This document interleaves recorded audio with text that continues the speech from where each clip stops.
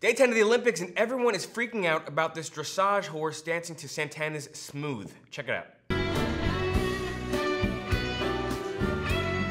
I don't get it. I made the same video a year ago and no one watched.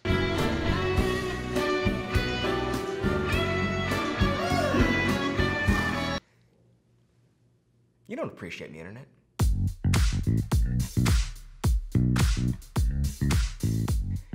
Extra Point, I'm Rob King. Day 10 of the Olympics was the day for counting your chickens before they won gold. Allyson Felix thought she had the gold wrapped up in the 400 meter until that dive dough. Let's talk about that for a second. Shaunae Miller, she won the gold, fantastic, but she also won the internet.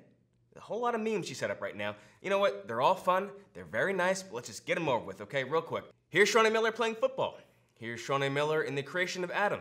And here's Shaunae Miller as crying Jordan's tears. Okay, great. You got it all out. Let's move on.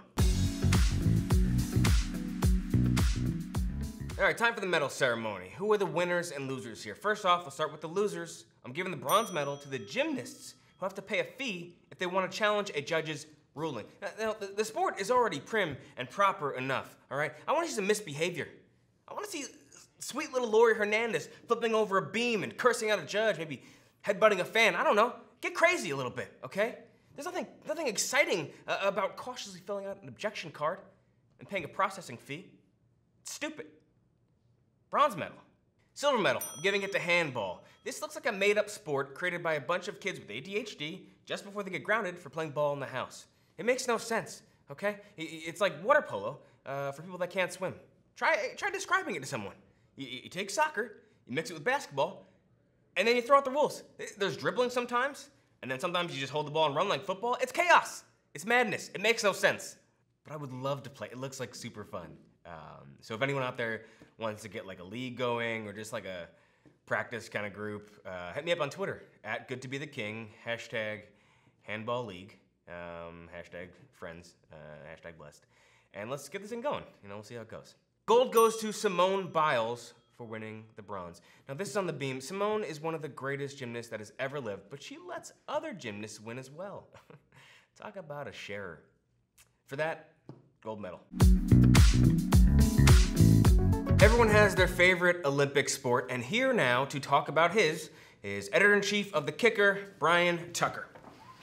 Hello. Brian, welcome to the show. Thank you very much. So, uh, what is it for you? What gets you going in Olympics? Well, what I love about the Olympics is it takes all of sport and distills it down to its most basic elements. Who can run the fastest? Who can jump the farthest? And who can make a horse dance? And not only dance, dance the best. I don't know if you've seen it. It's called dressage. Yep. You have seen it. Yep. Great. It's my favorite Olympic sport.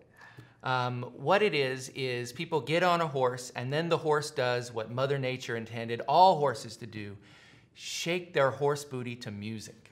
oh, look at that.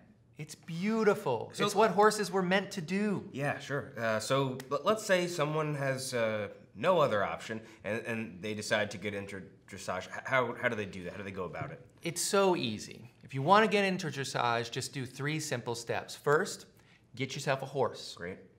Second, teach that horse to dance. Obviously.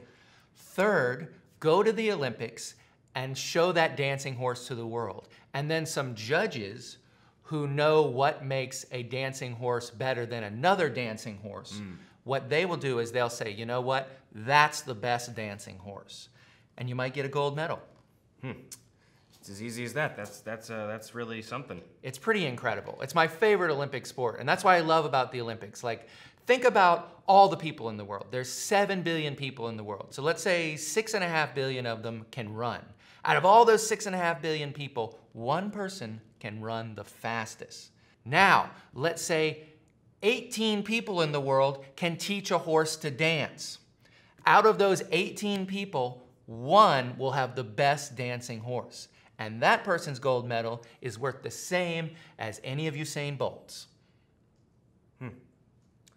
That's, uh, that's not not, it's not depressing in any way. That's that's uplifting. It's exciting. It's exciting for people and horses. Yeah, no, I'm, I feel the excitement. Uh, thank you so much for sharing that. Thank you. Uh, Dressage. Yeah, no, we'll We'll get into it. All right, time for the U pick. Now, Laurie Hernandez challenged her beam score and it cost her $300. So, our question today is what other parts of the Olympics should cost athletes money? My pick, I'm gonna say divers. If they belly flop, a million dollars. Flat fee right there. I mean, c- come on, guys, get it together. That's my pick. But I wanna know what your pick is. So, in the comments below, let us know what other parts of the Olympics should cost athletes money, and I will read the coolest ones next episode. All right, guys, I'm Rob King. Thanks for watching The Extra Point. So, you- you really like dressage? You, you, you're into that? Yeah, dude. And there's uh, there's a whole team behind these horses that get them to dance. There's, like a, coach? yeah, there's a horse choreographer. There's someone that, that, that works with the horse, like Yeah. one on one, Yeah. and like in between they go get a towel. They, they, they talk it through. Like, all right, your, your steps are good, but you're shitting everywhere. yes. Couldn't train the Laker girls, so it's like, you know what? I'm gonna do horses now.